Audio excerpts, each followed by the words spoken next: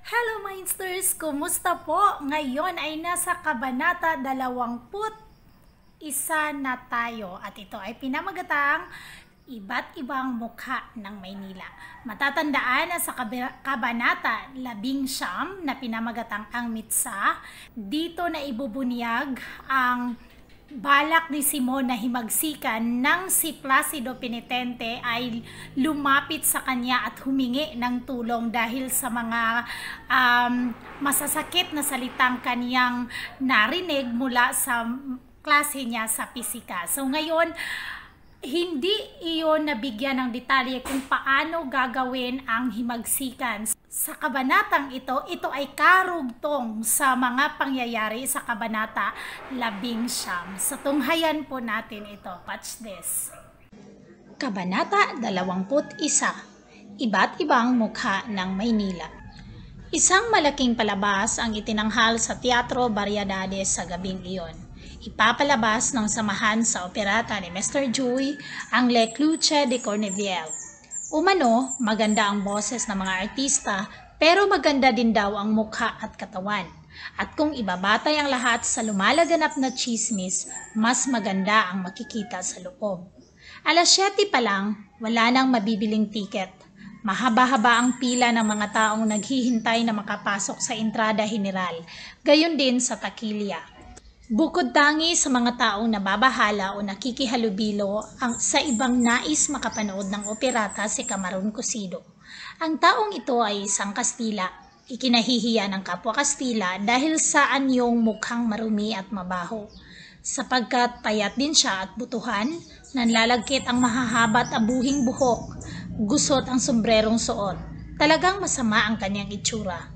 Tinatawag siyang Camarón Cosido dahil sa kulay saga ng kanyang balat na alangang Europeo. Marahang naglalakad na hinihila ang isang paang tila naninigas si Camarón Cosido. Tinatawag siya ng isang matandang lalaki. Maliit na maliit, maluwang na maluwang ang damit at hanggang tuhod lamang ang pantalon. Kung mapula si Cosido, kayumangge ang lalaking ito. Kung makinis ang mukha ni Cosido, kahit siya ay Kastila, ito naman ay balbasin kahit na Indio. Tio Kiko ang pangalan ng Pilipino. Ibinalita ni, ni Mang Kiko na siya ay binayaran ng Pranses sa pagdidikit ng mga kartel o poster para sa pagtataka. Nagkibit balikat lamang si Cosido. Isipin mo kung binayaran ka, magkano kaya ang iniabot sa mga praile? At napag-usapan nilang kaya hugos ang mga tao sa operata ay dahil na rin sa negatibong opinyon ng mga pare rito. Nangunguna sina Padre Salve at Don Custodio sa mga tumangging ipalabas ang operata. Ang totoo, nakipagtalo si Don Custodio kay Ben Zaib ukol dito. Sinasabi ng periodista na kahit ang sainete ay may dialogue na dalawa ang hulugan at sinagot naman ni Don Custodio na ang dialogue ng sainete ay Kastila samantalang nasa Pranses ang kahalayan ng operata. Nahahati sa dalawang grupo ang mga mamayan sa Maynila isang sangayon sa operata at isang laban na pinangungunahan ng matandang babae. Mga babaeng selosa at natatakot na ang asawa o katipan kaya nila ay magwala. Maraming mga pulong, debate, salitaan at sulatan ukol sa paksa. Mainit din ang mga usapan sa imprenta sapagkat si Ben Zaib ay sumulat ng panunuligsa sa wikang Kastila ukol doon. Maingat na maingat siya sa pagbuo ng mga salita dahil minsan na siyang nagkamali nang hindi tama ang naging baybay niya sa pangalan ng isang tenor na Italiano. Katakot-takot na pintas ang inabot niya roon. Kitam, ani Camaron Cosido kay Tio Kiko. Hindi talaga kartel ang humahakot ng manunood kundi ang mga pastoral. Palagay mo ba'y mawawalan ako ng trabaho kung tulig sa inito ni Padre Salve? Ani Tio Kiko na nangangamba. Maaari. Patuloy na naglakad si Camarón Cosido. Hindi iilang tao ang kanyang naraanan. Napansin niya ang pagdating ng mga taong di niya kilala. Madidilim ang mukha at hindi mapalagay ang mga lalaking iyon. Medyo nagtago pa sa dilim. May tiktik kaya o magnanakaw? Bulong ni Cosido sa sarili. Muli siyang lumakad at makailang hakbang pa ay nakita niyang nakipag-usap ang isang military na sa pulutong ng mga lalaking nagtatago sa dilim. Pagkatapos, lumapit ito sa isang sasakyang ang sakay ay namukhaan niyang si Simon. Isang putok ang sinyal. Opo, huwag kayong mag-alala. Ang general ang may utos niyan. Kapag sinunod ninyo, matataas kayo sa tungkulin. Sige po, Muling lumibot si Camarón Cosido. Dalawang tao naman ang naulunigan niyang nag-uusap sa Tagalog. Mas malakas ang praile kaysa general. Kapag napagbuti natin ang ating trabaho, yayaman tayo. Isang putok ang sinyal. Dooy general at dito'y si Padre Salve. Kahabag-habag na bayan, usal ni, Cosed, ni Cosido. Pero ano ba ang akin? Kibit balikat ito malis. Kabilang sa pangkat ng nanunood si Tadeo. Ito ang isang estudyanteng nagkakasakit tuwing nakakita ng propesor. Kinausap niya ang isang mausisang baguhan na sinamantala niyang kausapin upang maipakitang marami siyang kilala at nalalaman. Kung sino-sino ang itinuturo niyang tao at sinasabi niya ang katangian ng mga ito. At kahit hindi man niya nakilala ang mga taong dumating o dumaan, nagtatahi-tahi siya ng mga bansag, salaysay at kwento. Kabilang sa mga naituro at natanawa ni Tadeo ay si Padre Irene na umano'y nagsuot ng puspisong bigote. Ang pangkat ni Napaulita Gomez na kasama si Juanito Pilaes, Doña Victorina, Sina Macaraig, Texon, Sandoval at Isagani.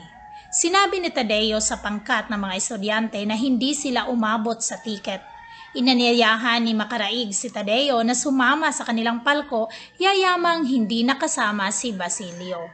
Hindi naman nagpatumpik-tumpik si Tadeo. Kabanatang ito ay ipinakikilala ang bagong karakter na si Camaron Cosido at saka si Tio Kiko. Si Camaron Cosido ay isang Kastila na hindi inaangkin ng kanyang mga kalahi na siya ay Kastila dahil sa siya ay marumi at mabaho. So habang ang lahat ay nasisiyahan sa panunood sa teatro, sa variedades, merong mga iba't ibang pangkat ng mga tao sa labas na um, nagbabalak ng kaguluhan. Basta't ang naririnig lang ni Cameron Cosido sa dalawang pangkat, dito sa kabila ang naririnig niya, utos ng general. Dito naman sa kabila ang naririnig niya, utos ng praile. Pero ang lahat ay nags, nagsasaya, nanunood ng masayang palabas habang mayroong kaguluhan. Alam ito ni Cameron Cosido pero nagkibit balikat lamang siya, wala siyang pakialam. At kung halimbawa na may makikialam si Cameron Cosido, hindi rin ito bibigyan ng pansin ng mga kapwa niya Kastila. Kasi parang mababa ang pagtingin ng kanyang kapwa Kastila sa kanya. Iwanag na inilalahad din sa kabanatang ito na nahahati sa dalawa ang ang pangkat no ang na, mga tao sa Maynila. Yung iba ay pabor sa pagpapalabas ng operata at yung iba naman ay hindi pabor sa pagpapalabas ng operata.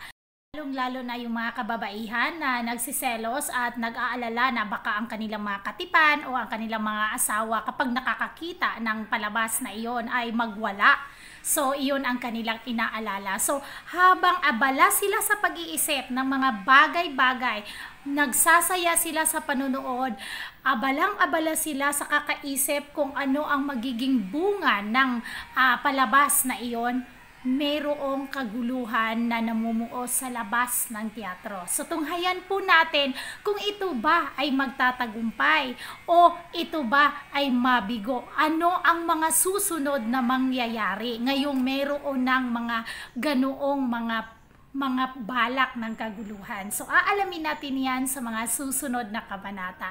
Maraming maraming salamat sa inyong pagsubaybay. Huwag ninyong kalimutang mag-like, i-share at mag-subscribe sa aking channel. Maraming maraming salamat. Bye-bye!